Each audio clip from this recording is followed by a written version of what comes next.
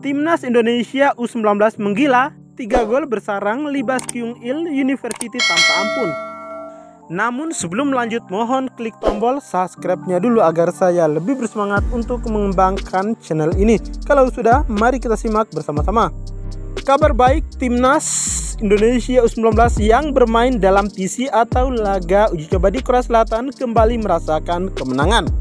Bertempat di Stadion Auxiliary Mini, Daegu Kamis 7 April 2022, Timnas Indonesia 19 melakukan perubahan susunan pemain.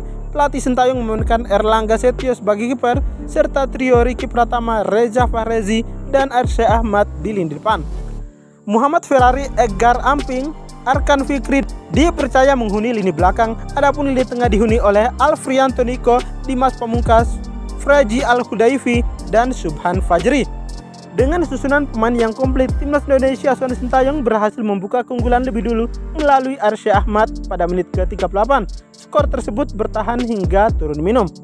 Pada babak kedua, Kyung Il University sempat memberikan perlawanan. Timnas U19 kemudian dibuat kesusahan sampai akhirnya mendapatkan hadiah tendangan penalti pada menit ke-81.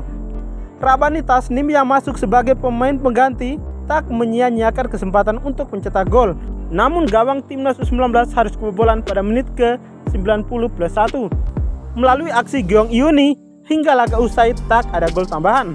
Bagaimana menurut kalian? Terima kasih telah menyaksikan video ini dan jangan lupa pantau video-video kami yang selanjutnya.